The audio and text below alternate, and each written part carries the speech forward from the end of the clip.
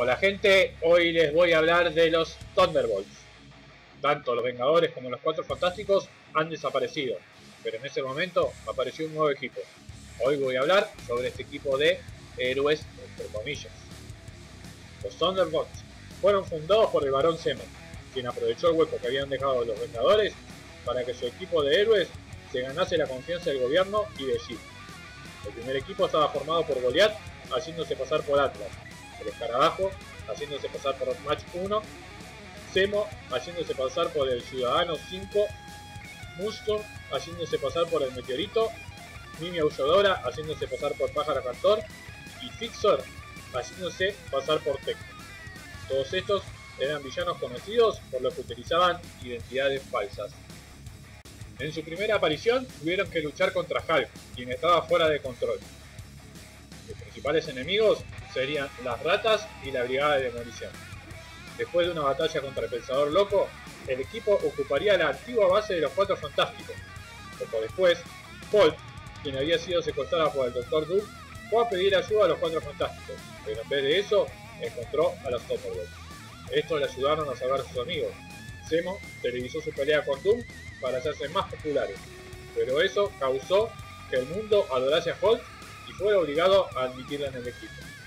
Embargo, Hulk no conocía las verdaderas intenciones de este equipo, por lo que todos guardaban sus apariencias delante suyo.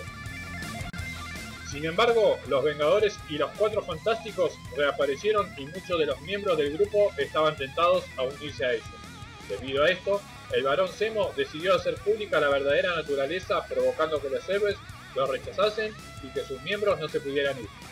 Más tarde, todos los miembros de los Thunderbolts, a excepción de Zemo y Fixer, se unirían a los Vengadores para derrotarlos. Ambos hubieran sido detenidos si no fuera por la inesperada ayuda de Atlas que los ayudó a escapar. Poco después, Moonstone revelaría que nunca quiso ser un héroe y desapareció.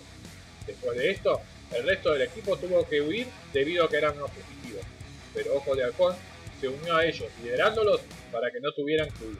Este equipo duraría hasta Civil War cuando se disolvió.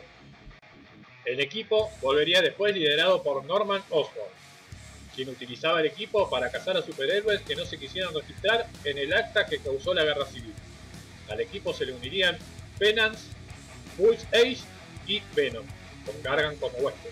Moonstone volvió al equipo y de la formación anterior solo quedaron Sontir, el hombre radioactivo y el espadachín. Durante este periodo hubo muchas peleas internas principalmente por parte de Zombie, quien desconfiaba de Moonstone. Más adelante, Norman es nombrado agente de S.H.I.E.L.D. y pasa a Venom, Pulse Ace y Moonstone a su equipo de The Dark Avengers.